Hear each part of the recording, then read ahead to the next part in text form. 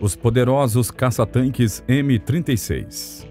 Bom, os M36 Jackson, também conhecidos como Slugger, foram caça-tanques empregados pelas forças dos Estados Unidos durante a Segunda Guerra Mundial, destacando-se pela notável eficácia contra esses poderosos tanques alemães.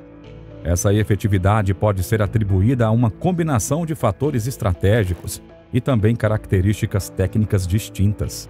Em primeiro lugar, o M36 estava equipado com um canhão M3 de 90 mm, uma peça de artilharia potente que conferia ao veículo uma notável capacidade de penetrar a blindagem dos tanques alemães.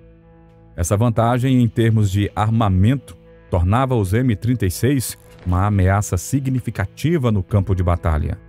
Além disso, a mobilidade e a agilidade do M36 eram características cruciais. Baseado no chassi do tanque M10, o M36 mantinha uma boa relação peso-potência, permitindo movimentação rápida e manobras ágeis. Essa capacidade de deslocamento estratégico era vital para evitar ataques inimigos e explorar vulnerabilidades na defesa alemã. A adaptação tática das tripulações também desempenhou um papel fundamental na eficácia do M-36.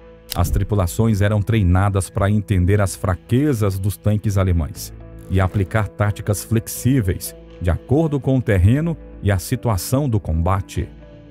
A comunicação eficiente e a coordenação com outras unidades aliadas também foram elementos chave.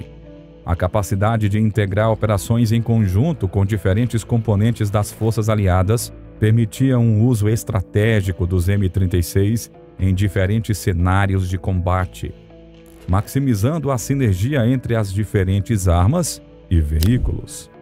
Outro aspecto crucial foi a capacidade de atirar e de manobrar, uma tática que permitia aos M36 disparar contra os tanques inimigos e rapidamente mudar de posição, evitando retaliações. Essa abordagem estratégica aumentava a sobrevivência dos M36 em situações de combate intensos.